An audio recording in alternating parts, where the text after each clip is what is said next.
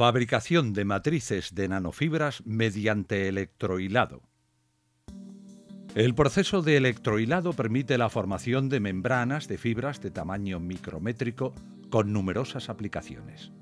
Entre sus aplicaciones se pueden encontrar la elaboración de 1.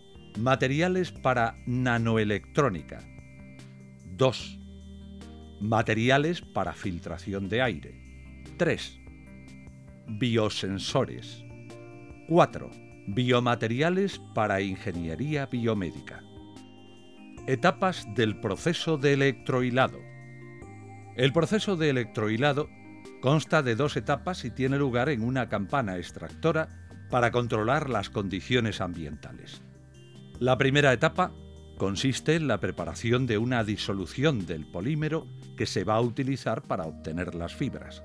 Para realizar dicho proceso se puede utilizar tanto un polímero natural, proteína o polisacárido, como un polímero sintético, óxido de polietileno, policaprolactona o alcohol polivinílico, así como mezcla de ambos.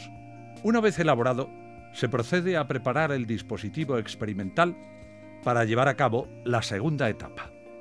Dicho dispositivo Consta por una parte de una bomba, cuya función es la de impulsar la disolución desde la jeringa hacia el colector.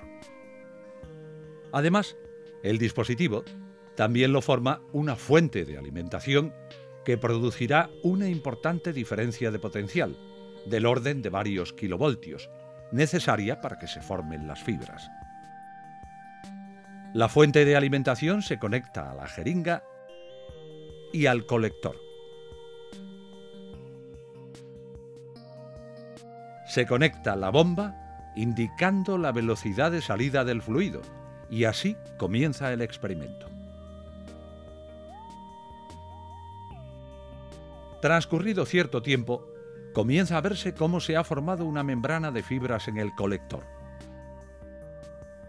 Por último, mediante microscopía electrónica de barrido, pueden verse las fibras que conforman la membrana que ha sido elaborada durante el proceso de electrohilado.